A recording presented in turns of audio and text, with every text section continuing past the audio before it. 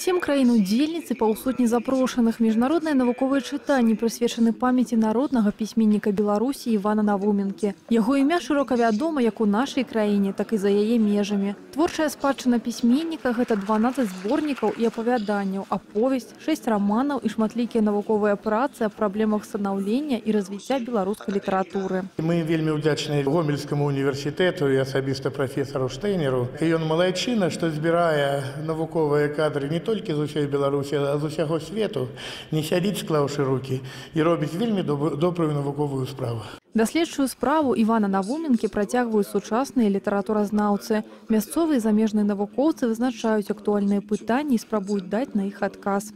Ці будзе існаваць літаратура у традыцыйным выглядзе, да якой мы прывыклі? Ці будуць з'яўляцца э, шматтоўныя эпапеі? Ці можа проста на змену вялікім жанрам прыйдуць больш маленькія, якія адпавядаюць нашаму імкліваму часу? Свае меркаванні выказваюць спецыялісты з Расіі, Польшчы, Украіны, Германіі, Славеніі і Великабрытаніі. Іх выступленні паказалі, беларускай літаратурай актыўна цікавіцца і за мяжой. Прычым некаторыя з гасцей заявілі аб гэтым на беларускай мове.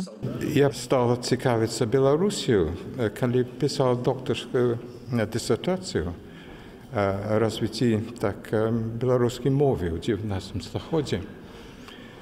І мне пашанцавала так быць знаёмым з цудоўнымі людзьмі, так Васілем Быкавым, напрыклад, і Рыхором Барадуліным. Праграма міжнароднай канферэнцыі разлічана на два дні. За гэты час будуць агучаны каля 40 дакладаў. Пры гэтым на сцэну выйдуць і родныя Івана Навуменкі.